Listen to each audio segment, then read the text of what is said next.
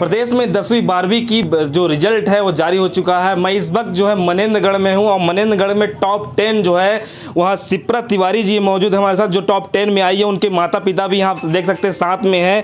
किस तरह की तैयारियाँ रही हैं आपकी और कैसा लग रहा है कि टॉप टेन में आप हैं? जी अच्छा लग रहा है बहुत अच्छा लग रहा है। हार्ड वर्क किया था।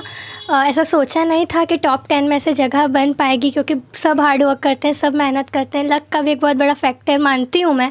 बट हाँ मैंने तैयारी की थी जितना पॉसिबल हो पाया अपना दिया और एज ए रिज़ल्ट मुझे मिला। तो आगे क्या बनना चाहते हैं?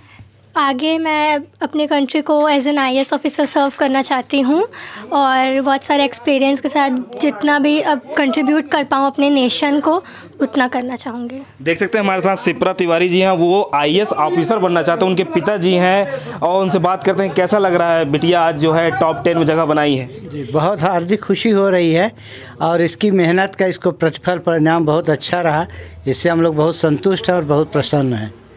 देखिए उनके माता जी भी हमारे साथ हैं। कैसा लग रहा है माता जी आपकी बिटिया जो है टॉप टेन में है। बहुत अच्छा लग रहा है बहुत खुश हूँ मैं। और ये मेरी बच्ची के मेहनत का फल है। सेल्फ स्टडी किया है ये बिना ट्यूशन बिना कोचिंग के।